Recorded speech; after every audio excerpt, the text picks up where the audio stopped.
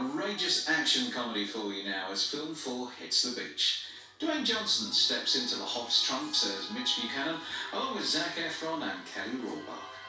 Careful where the sand gets in Baywatch, where you can expect strong language, nudity, and scenes of violence throughout.